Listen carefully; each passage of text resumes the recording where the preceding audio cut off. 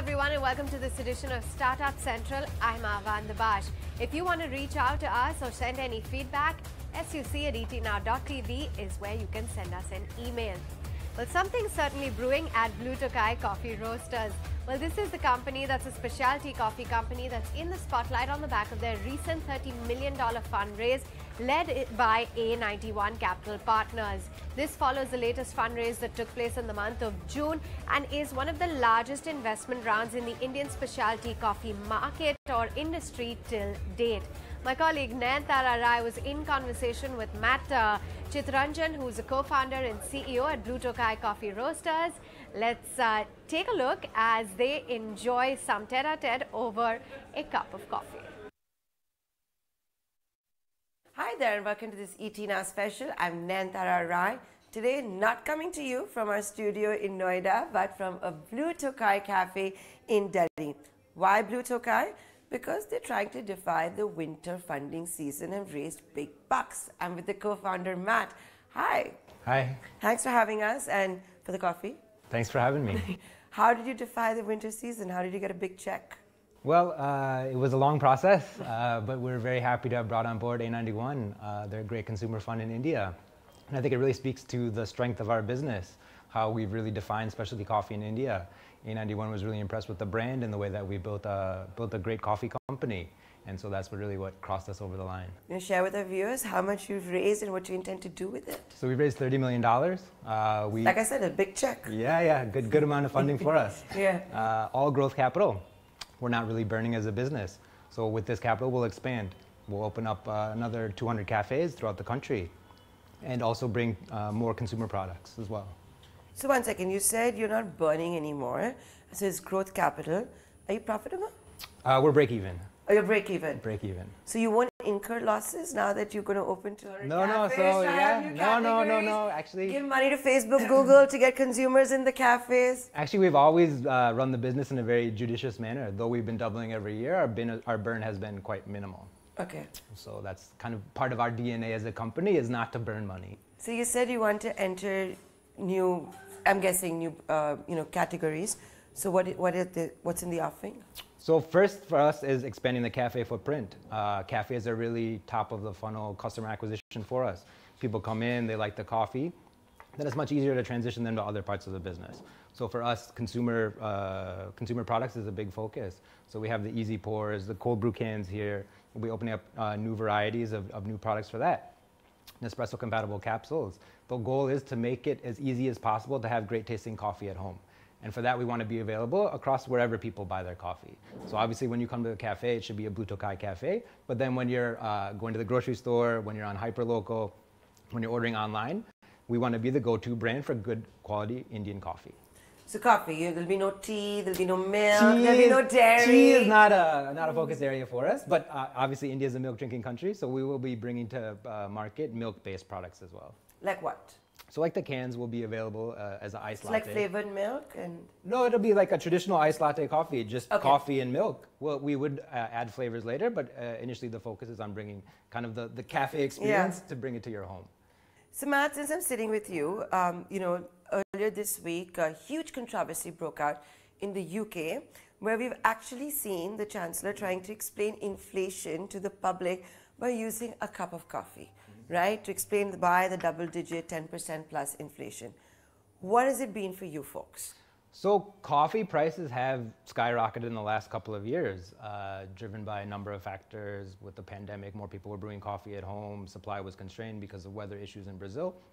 That led the commodity price to increase to a very high level. Now it started to come back down, but we've never operated in the commodity market. We've always been a specialty coffee company. We've been paying a premium to growers ever since we've been uh, in existence. And that's a more stable market where the pricing is, is, is, is less volatile. So coffee prices, when they shot up, did not increase as much as it would have been for a commodity player because we've already had a relationship with the growers and we've been paying a premium for a significant amount of time. Now that prices have come down, our, our prices should come down a bit as well. But uh, will you pass that on to the uh, consumer? Uh, yes, yes, yes. We're uh, for us as a brand, our, our goal is to have uh, uh, sort of mass premium pricing. We don't want to be the most expensive player in the market. Our you, cafe. And you don't want to be the cheapest player either. No, no, no, definitely. I mean, we, we have a very high quality product and, and there is a premium associated with that. But the goal for us is to have pricing that's affordable to a wider segment of the population. So tell me something. In the last two years, when we did see coffee prices skyrocket, um, every year we hear about the bean shortage as well. Did you raise prices and by how much? Yeah, every year we've been raising in line with the increasing green rates. So they've uh, increased anywhere from 5 to 10%. So will you cut bring it down? Because you know, like when shampoos and soaps get more expensive, we never see that get cheaper. Yeah, so at least on the, the retail side, we do want to bring uh, the coffee prices down. I think in the cafe, there's other inflationary pressures involved, so I, I don't see cafe prices dropping, but definitely on the, the coffee packets that you brew at your, your home, that'll, that'll come down. Who's your main competitor? Main competitor, so I mean, Starbucks is the largest uh, coffee company i- Starbucks, in yeah. India. They're in, in, in India, they're positioned as a very premium brand. Uh, so for us, that would be the, the largest So it's not barista, it's not cafe coffee day, it's not third wave coffee, which is Mm, starting no, out. no, no, uh, after, no, no, no. So I think a lot of these other brands are more in the commodity segment, uh, whereas in in the specialty segment, there's really no one at the scale that we have. Okay. Now for the cafe, um, I, I totally get the synergy between the coffee and why I need to have cafe and the front end and all of that stuff. But that's a lot of overheads to take, and it's not even your core business. How will you do it? So and actually- you want to compete with Starbucks. So cafes have become sort of the core business. It's around two thirds of the overall revenue of, of the company. So what for- is your revenue? Uh, so that's that's that's that's something that we really want to disclose right now. Okay. Uh, uh, right now, we're uh, this this financial year we're we expect to close at 150 crores, uh, and then we'll be doubling every year. Okay. Oh, that's IPO. Uh, in, in in the plans, uh, we're we're you have to give an exit to all of these yeah, yeah, investors we're, giving you fact we're, checks. We're, we're a few years away from that, but the, the goal is uh, to do an IPO. So in this uh, funding round, did your existing investors double down? Some, yes, yes. We, we and actually there was opportunity for secondary, and none of our investors were really interested in exiting. So we do have the faith of, of, of all the investors behind us, and, and some of them did put in additional capital. The 200 cafes you're going to open, and you know, just to map also what we're seeing overall, are you going to stick to the bigger cities, or is Blue Tokai now ready to become a mass brand and enter smaller cities as well? So we, uh, in this last year, we have expanded to places like Chandigarh and Pune. So we are looking at cities like that. You can't call Chandigarh and Pune smaller cities anymore. So, you so, can't. so tier two and tier three, I think, is not really I know on you're the, from Delhi, on but we can't do that. Yeah, yeah. The, the focus will still be on these larger metro areas because that's where we see the, the bulk of the demand. Uh, for us, in order to gain operational efficiencies, we need to open four to five cafes within a geographic region. So that's why we're, we're looking at uh, major- Airports, railway stations. Airports we have, uh, we are looking at. Railway stations, not really a No, focus. they're going to be modernizing them. Yeah, yeah, yeah.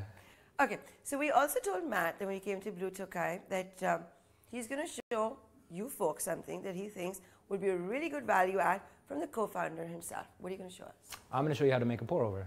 Okay, let's go for it. Okay, so apparently there's a lot of technique that goes behind a pour over. It's not that you just put some paper over your No, cup no, and no. pour over. What's the technique? What's the secret? So I'm going to show you. But so today we're going to brew a birthday blend. It's our 10th anniversary this year. Happy 10, double thank digits. you. Yeah, yeah. And so actually this blend was made with coffee from 10 different estates.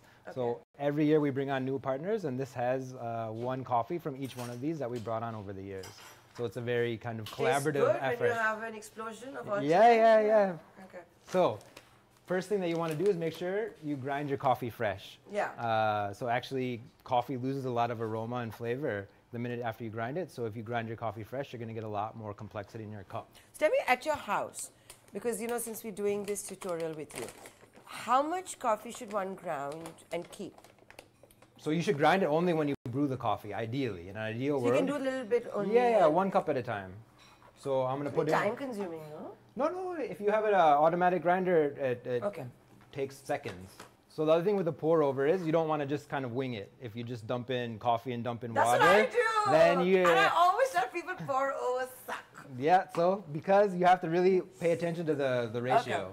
So for this, I'm going to use a one, uh, one gram of coffee to 60 ml of water. So the first step is to weigh the coffee. Since I'm just going to make one cup, I'll put in 16 grams. You don't even measure it. Oh, you got the weighing scale here. Yeah, 16 grams, guys. 16 grams. You want to have a medium coarse grind because you want the coffee to brew in around three minutes. Okay. If you put it too fine, it'll uh, take too long to brew. It'll become bitter and uh, over extracted. And if it's too coarse, it'll just run through and it'll become weak.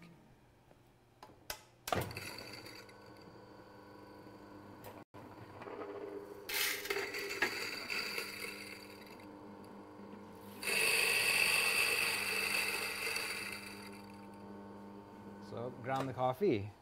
The other important thing to uh, pay attention to is your water temperature. If- Um, what is the ideal water temperature? so it depends. Uh, different coffees require different water temperatures. This is a medium roast coffee, so I'm going to do 95 degrees. If I was going to do a darker roast coffee, I might brew at a higher temperature. And if I was going to do a lighter roast coffee, I might brew at a lower temperature. But if you play around with the water temperature, you can get different it out, flavors out, of it. Basically, I just put a kettle and wait for the smoke. Like it's boiling. That's so if it. it's boiling, it tends to over extract the coffee. So that also brings so that's in also extra, bad then. That also brings in extra bitterness to it. so there is a lot of technique. So I'm just going to quickly wet the paper. Just Oh, I've never done that. It just removes any kind of paper flavor that's that's in there. Dump this out.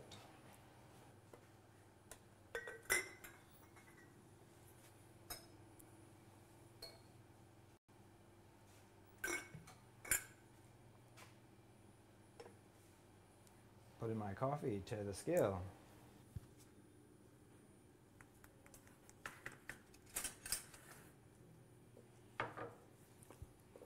Now, you want to pour a small amount of water, which is called the bloom. This allows The bloom. any kind of carbon dioxide that's trapped into the beans to escape, which helps promote an even brewing. So you see the coffee's bubbling, that means that the coffee was fresh. Can we see the coffee bubbling, guys? So now I'm going to wait about 30 seconds. Let all that CO2 escape. Do you have a smaller contraption for like office desks? This is as small as it gets. You can put this over your cup. Uh, that would be a way to Yeah. shrink it. You can just brew directly into your cup. So now it's been 30 seconds, so now I'm going to slowly add more water to it until I reach the target water added. So because I put in 16 grams of coffee, I'm going to put 250 ml of water in here.